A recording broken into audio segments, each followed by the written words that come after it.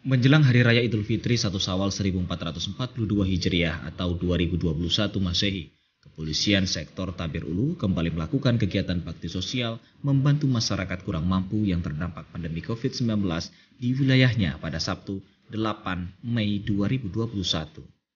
Dalam kegiatan bakti sosial tersebut, Polsek Tabir Ulu Ibtu Ramadan Agustian Syah membagikan sembako dan uang santunan kepada kaum duafa dan warga tidak mampu.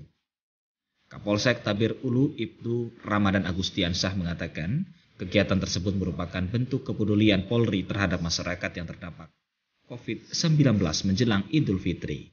Ia menjelaskan kegiatan tersebut merupakan salah satu langkah yang sudah terkonsep oleh Kapolsek Tabir Ulu melalui program Kapolres Merangin, kegiatan Semah Sentuh Masyarakat secara humanis.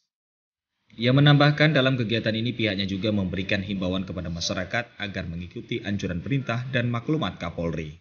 Lebih lanjut, Ibtu R. Agustiansyah mengatakan, bantuan tersebut diserahkan kepada masyarakat Dusun Kampung Tengah dan Dusun Rumah Gedang, Desa Telantam, Kecamatan Tabir Barat, Kabupaten Merangin.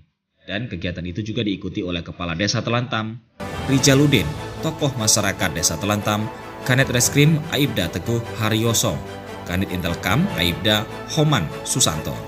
Ibtu R. Agustiansyah juga menerangkan kegiatan ini dilaksanakan sebagai langkah persuasif dan pendekatan kepada masyarakat Desa Telantam, Kecamatan Tabir Barat, Kabupaten Merangin, sehingga kehadiran polisi semakin dicintai oleh masyarakat.